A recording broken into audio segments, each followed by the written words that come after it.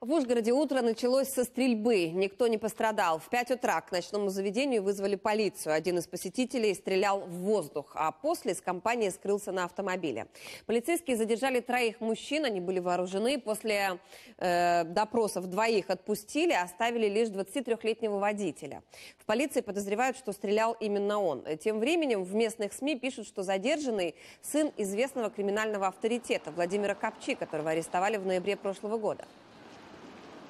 На місці події слідчо-оперативна група виявила знаряддя злочину, а саме пістолет, який вилучили, направили на експертизу. Попередньо це зброя, яка стріляє гумовими кулями.